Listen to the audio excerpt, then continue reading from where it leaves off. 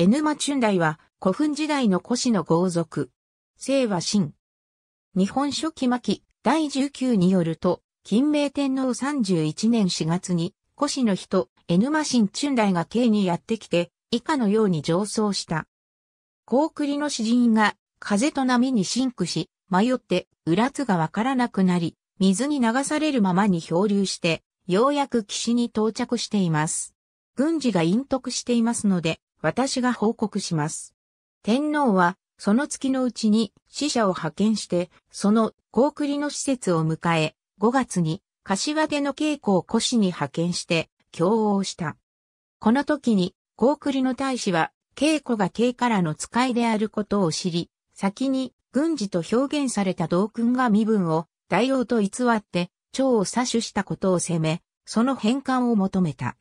これを聞いた、慶氏は、道軍が取り立てた蝶を探索して、高栗の詩人らの元へ返している。上記の話は、王神天皇28年さらに、仁徳天皇12年に、高栗からの死者が来庁したという話を除外すると、記録に現れる高栗との国交に関する確実な初事例である。また、春代が同君を訴えた事情には、加賀国への馬軍と同国の石川軍阿治地境あたりを地盤とする皇族同士の争いがあったものと思われる。また、ここに登場する同君の行為は、朝鮮半島の貢ぎ食船を我が物にしようとした筑紫君祝いの行動と似ており、こうした彼の行動に対し、大和政権は何らかの処分をした形跡が見受けられず、当時の越国の豪族の自立性が認められる。ありがとうございます。